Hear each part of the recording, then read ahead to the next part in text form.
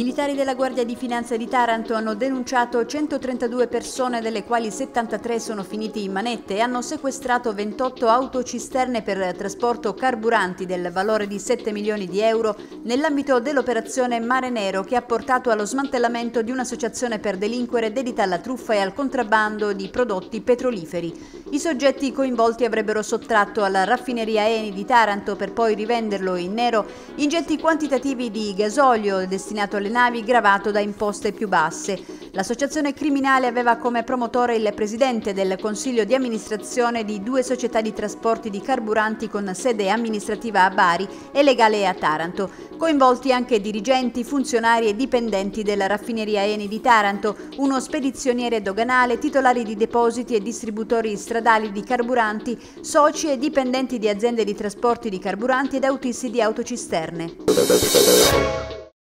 Ieri sera gli agenti della Polizia di Frontiera in servizio presso il porto di Taranto hanno sventato il furto di un ingente quantitativo di rame. Gli agenti avevano notato un insolito movimento di mezzi e di persone nei pressi del cantiere della piastra logistica. Giunti sul posto hanno recuperato 4 quintali di cavi elettrici del valore di 3.000 euro e numerosi arnesi atti allo scasso. Nel cantiere è stato inoltre trovato un mezzo sollevatore Bobcat ancora in moto, sul quale era stato caricato un altro grosso fascio di cavi elettrici. Gli attrezzi sono stati sequestrati, il rame è stato restituito all'azienda proprietaria. In corso indagini per risalire gli autori.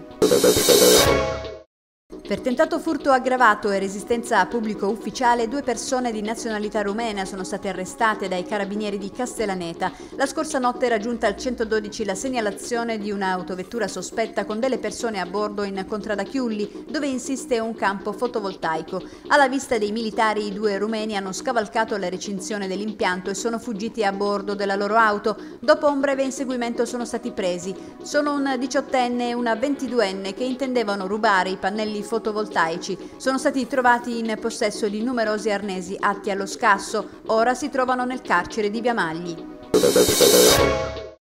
Il 29enne Antonio Cava è finito in carcere per spaccio di sostanza stupefacente. I carabinieri, dopo un servizio di osservazione nei pressi della molto frequentata abitazione dell'uomo al quartiere Tamburi, hanno proceduto ad una perquisizione nel corso della quale hanno trovato un involucro in cellophane contenente 41 grammi di eroina nascosto negli slip e 910 euro ritenuti provento dell'attività di spaccio all'interno di un cassetto della cucina.